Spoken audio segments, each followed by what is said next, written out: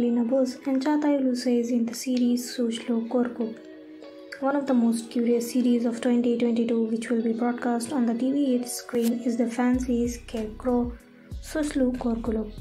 It is said that the proposal was sent to Hafsanur Sanjak and Alina Boz for the lead actress in the series. But fans were waiting to accept Alina Boz's proposal because they wanted to see Çağatay Ulusoy and Alina Boz together this time. And finally, it has been announced that Alina Boz will play lead actress in Süslü Korkuluk alongside Çağatay Ulusoy. According to the news of Birsen Altuntaş, Alina Boz will play lead actress in Süslü Korkuluk, and it is noteworthy that Çağatay Ulusoy himself wanted to work with Alina Boz. It is also very curious how Çağatay Ulusoy will adapt to Alina Boz in the series in which she will give life to a fashion designer.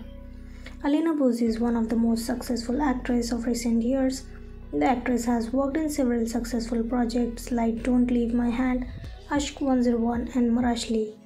The first trailer of the TV series Süslü Korkuluk, which will be broadcast on TV8 screen, has already been released and attracted great attention. Series is expected to be released in February. So friends, what do you think about this new series? Please share your thoughts with us and don't forget to subscribe.